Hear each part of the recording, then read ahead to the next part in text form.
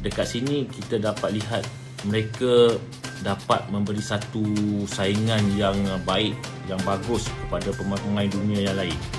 Uh, yang ranking lebih tinggi daripada mereka. Jadi uh, negara-negara lain sudah semestinya memberi uh, tumpuan kepada mereka ini untuk perjalanan-perjalanan yang akan datang.